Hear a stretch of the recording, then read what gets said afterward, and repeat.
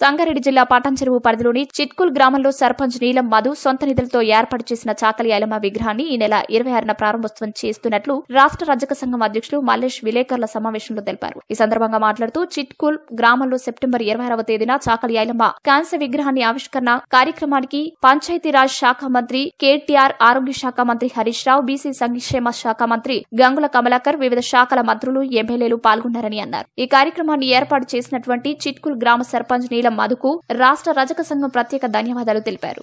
ఉత్తర్వులు ఇచ్చారు. దాని ప్రకారంగా ఇక్కడ ఇరవై ఆరు సెప్టెంబర్ నాడు అధికారికంగా ప్రభుత్వ లాంఛనాలతోటి ప్రభుత్వ మంత్రులతోటి వారితోటి ఇక్కడ కార్యక్రమం అనేది ఏర్పాటు చేయవలసింది అది ఇరవై ఆరు సెప్టెంబర్ రెండు వేల పన్నెండు. ఇది ఇక్కడే ఎందుకు ఏర్పాటు చేయడం మేము ఈ ప్రభుత్వం నుంచి వెళ్ళి శ్రీ కల్వకుంట చంద్రశేఖరరావు గారి కుమారుడైన కల్వకుంట తారక రామారావు గారిని మేము అప్రోచ్ కావడం జరిగింది. వారు మంచి కార్యక్రమం వస్తామని మాకు హామీ ఇచ్చారు. తద్వారా దాని తదుపరి అక్కడే ఎంపీ గారు కూడా ఉండేది. కొత్త ప్రభాకర్ రెడ్డి గారు. వారికి అప్పుడే చెప్పాను అన్న ఇది మంచి కార్యక్రమం ఇస్తాము. ప్రభాకర్ రెడ్డి గారు మీరు కూడా మైల మైపాలన్న ఎమ్మెల్యే గారు మనం అందరం పోదాం.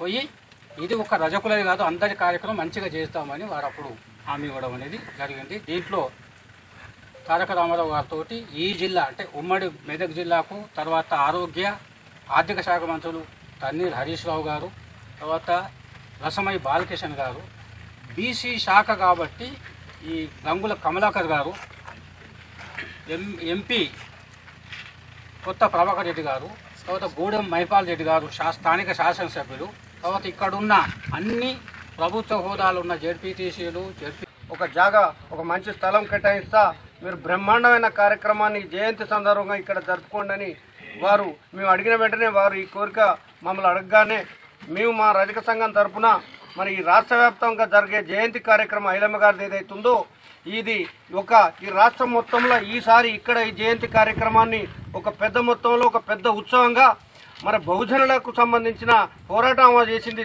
తప్ప ఒక శాఖలకే కాదు కాబట్టి రేపు జరగబోయే ఇరవై ఆరు కార్యక్రమం కూడా అందరు జనులను సమీకరించి అందరు జనాలు రావాల్సిందిగా కోరుకునేటువంటి ఉద్దేశంతో ఈరోజు ఈ ప్రెస్ మీట్ పెట్టడం. ఈ రేపు జరగబోయే ఇరవై ఆరో మన ఇరవై ఆరో తారీఖు జయంతి కార్యక్రమానికి